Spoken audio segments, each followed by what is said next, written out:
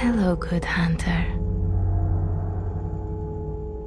Et salut tout le monde, c'est Plémo, aujourd'hui on va voir comment on peut battre facilement la sorcière de Hemwick. Et venir ici avant le combat contre Amelia était une bonne idée je trouve parce que le combat est un peu plus simple.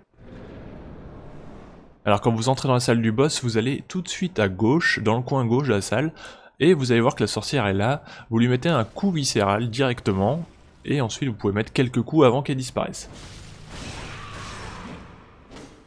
Ensuite, ce qu'on va faire, c'est qu'on va en fait euh, faire le tour de la salle en longeant un peu les murs, euh, parce que il y a de grandes chances qu'elle se retrouve dans un coin, euh, peut-être celui opposé, et on va essayer de la trouver comme ça pour lui refaire exactement la même chose, coup viscéral, plus quelques dégâts. Bon, manque de bol, ici elle était exactement au même endroit.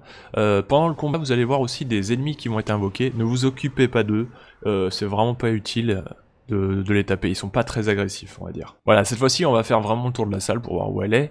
Euh, et une fois qu'on aura euh, vidé sa barre de vie, vous allez voir en fait que les sorcières de Hemwick sont et que l'une va s'amuser à ressusciter l'autre en permanence. Donc le but du jeu, ça va être de tuer rapidement euh, la seconde après avoir tué la première. Parce que là, vous avez vu, j'ai donc frappé la sorcière et euh, sa barre de vie a pas baissé, donc ça veut dire en fait que j'ai frappé la deuxième, d'où la confusion. Mais là, cette fois-ci, j'ai tué la, première, on va dire, et du coup, il va falloir que je trouve rapidement la seconde, que je lui baisse toute sa barre de vie, euh, parce que sinon, elle va du coup faire ressusciter sa, sa collègue.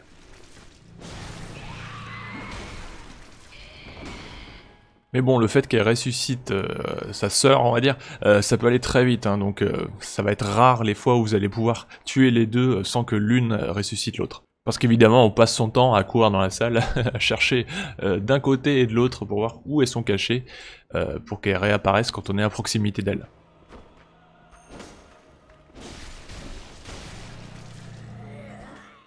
Alors quand je vous disais de venir ici avant Amelia, en fait la nuit de chasse n'a pas avancé, et je trouve qu'elles font beaucoup moins d'attaques magiques quand vous venez avant Amelia. Si vous venez après Amelia, je trouve qu'il y a plus d'invocations, et qu'elles euh, balancent beaucoup plus de magie. Elles ont euh, des trucs pour vous emprisonner en fait, vous ligoter avec de la magie, et euh, ensuite elles peuvent venir vous, bah, vous tuer en fait très rapidement.